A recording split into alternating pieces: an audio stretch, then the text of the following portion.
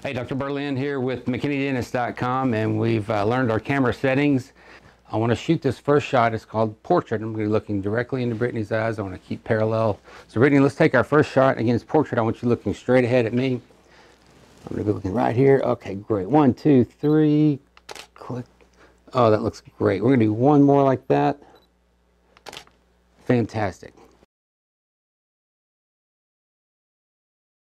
So Brittany, if you could just look straight ahead. Again, repose. Say M. Uh, perfect. We're going to take two. We always take two.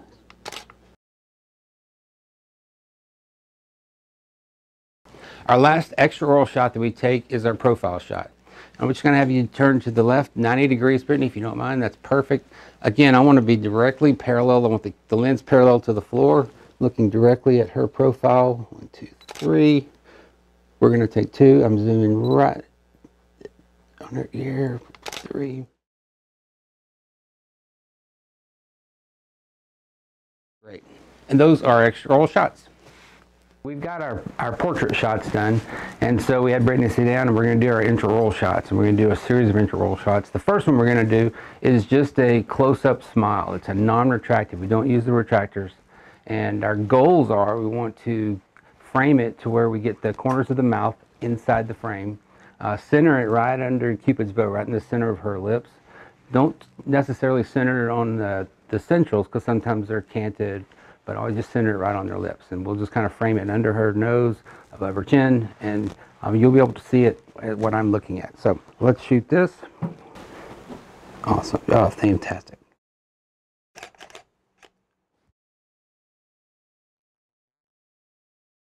Okay, we're going to do our retracted teeth together. And there we go. Can we see that in the screen now? Mm-hmm. Okay, cool. And again, my goal here is to make sure we see the second molars. There we go.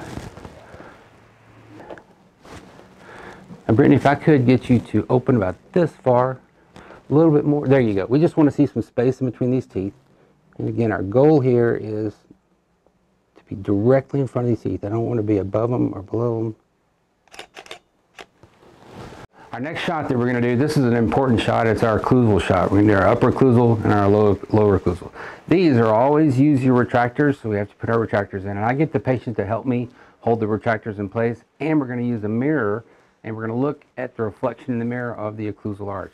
Our goal is we want to see all the occlusal table. Ideally, we want to see the facial of the centrals, and we want to see all the way back to the distal of the second molars. So here we go. We, Brittany, we get those retractors in. Thank you. Very good. Steph, you can set that in there. I like having a little air here so we can keep the air. There we go. And you can kind of see what I'm doing. I'm just going to try to zoom right in here till I can see. I'm looking for the facials of the centrals and let's turn on and do the lowers. We do the same thing basically on the lowers.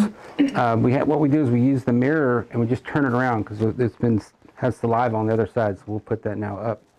And then so we're going to shoot the same thing on the lower. Same goals. We want to be able to see the um, facial surface of the lower anteriors and we want to see all the way back to the second molars. That is perfect. Brittany, if you could kind of pull your retractors down a little bit, like if you could, yeah, instead of being at 3 o'clock and 9 o'clock, if you were at 4 and eight. That's good right there. Thank you so much. Okay, let's take a look. That looks really good. I want to get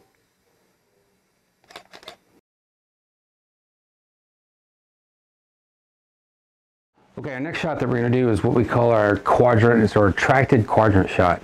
And we say retracted, and there's two ways to do this. You can either do it directly, where you retract the same side as you shoot, or you can retract the opposite side and put the mirror and shoot the mirror shot. We feel like the mirror shot gives it a lot better clarity and a lot more uh, detail, um, especially back in the second molar. So what we're going to do is simultaneously, I'm going to have Brittany hold the retractor on the right side while Stephanie holds the mirror on the left side, and we're going to get the upper left quadrant. So let's set that in there.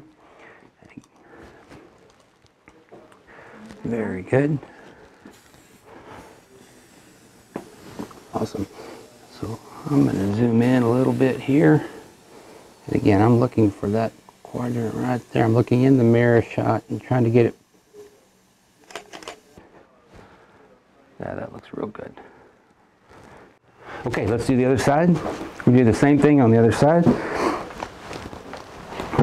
This way you can probably see now the view.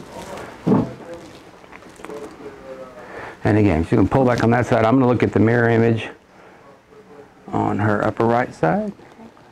Close all the way down. That's great right there. You can kind of see my view. Very good.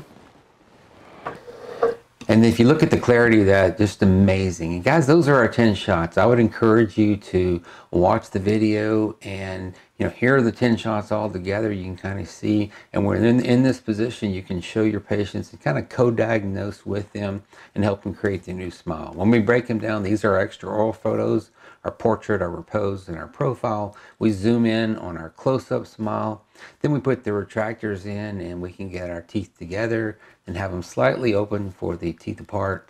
Then we do our occlusal shots. We've got our upper, our lower, great for diagnosing fillings and crowns. Uh, we do our quadrants right and left. And guys, that's it. Hey, a big, big thank you for our patient, Brittany, uh, for my assistant, Stephanie. Also, thank you to for our two photographers, both Paola and Ashley. And thank you for watching. I hope you enjoyed the video.